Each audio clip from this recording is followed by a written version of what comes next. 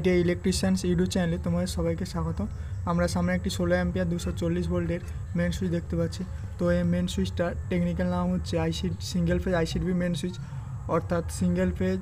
iron clad double pole main switch thank you